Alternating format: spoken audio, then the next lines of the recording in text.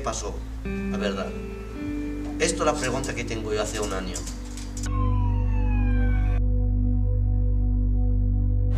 Me acuerdo siempre del golpe, el primer golpe y cuando caigo con la espalda.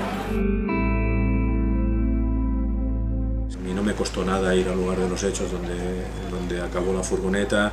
Eh, además creo que era necesario, hablo, hablo a nivel personal, ¿eh?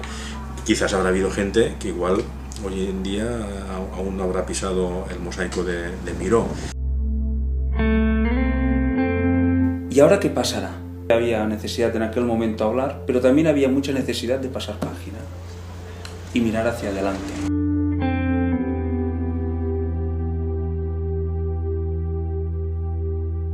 Cuando voy a Marruecos me dicen que tú eres europeo, vives ahí, vienes solo tres semanas.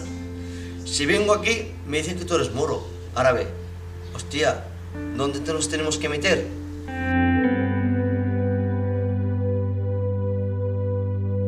Para todo me da miedo, todo me agarra ansiedad. Es complicado. Y estar así, tomando tantos remedios. A la noche me duele la espalda, tengo que tomar un protector estomacal, ando con presión alta debido a todo esto, empezó a agarrar presión alta. Estoy con la presión alta, tengo que tomar la pastilla, tengo que tomar otra pastilla. Y tú en mi teléfono, yo son las 6 de la mañana, estoy despierto. Me tomo la pastilla, todo, a veces salgo a las 4 de la mañana a caminar con mi perro, para ver si me canso un poco y eso que estoy aquí toda la tarde y hace mucho calor.